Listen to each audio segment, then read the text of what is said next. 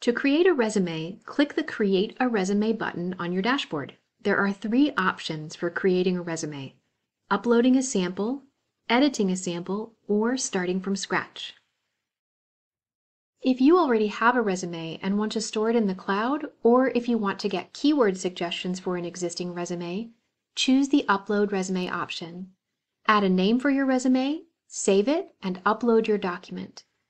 After you upload your Word or PDF resume, click the AI Keyword Suggestions button and paste a job description to get categorized keyword suggestions for the job. Including relevant keywords in your resume will increase the chances that your resume will get past applicant tracking systems. Simply copy missing keywords and paste them in a note or Word document so you can add them to your resume later. If your Career Center provides resume review services, click the Submit for Review button to submit your resume for feedback. If you need to create a new resume, one popular method is to edit a resume sample and replace its contents with your own. Click Edit Sample to use this method. Get started by choosing a design template that you can change later if you prefer. Next, find a resume sample that fits your objective. You can filter samples by industry, occupation, type, and other filters to narrow down the choices. Click Preview to view the sample in the design you selected and then click Use this sample to continue. You'll land on the resume dashboard in preview mode with the resume name at the top and some key actions below.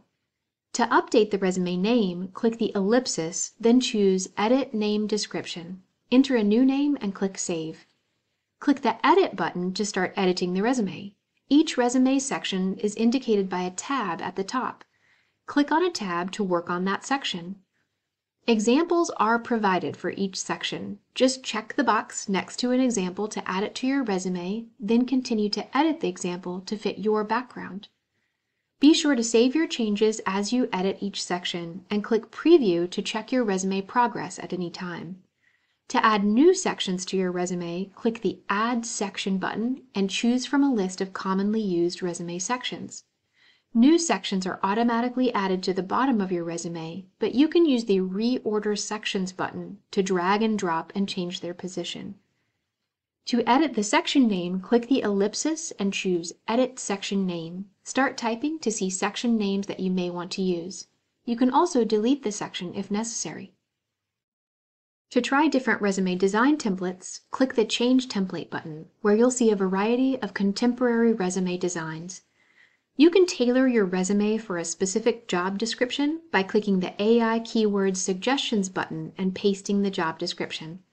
Highlight and copy missing keywords, then click Edit to paste them in the relevant resume sections. When you're ready, you can download the .docx or PDF version of your resume from the resume dashboard, or use the Share button to share your resume with organization groups or members or share it as a link outside Skills First. On Skills First, your content is private until it is shared.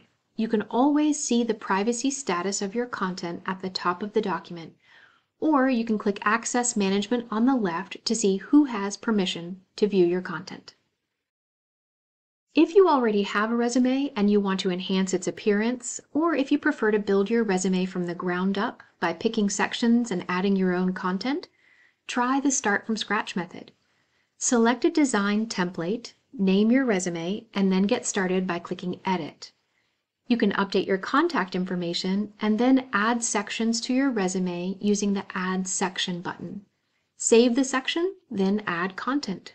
You can paste content from an existing Word document or PDF resume, or you can add from the examples. Preview your resume as you go and change the design template until you find a perfect match. You can also get AI keyword suggestions for a specific job you plan to apply for. When you're ready, you can download the Word version of your resume using the button on the left, or click the ellipsis to download the PDF version. If you want to share the link to your resume outside Skills First, use the Share icon. With the viewer permissions selected, choose anybody with a link and then click Copy Link and the green Share button. Click Ctrl V to immediately paste the link in an email or on a website.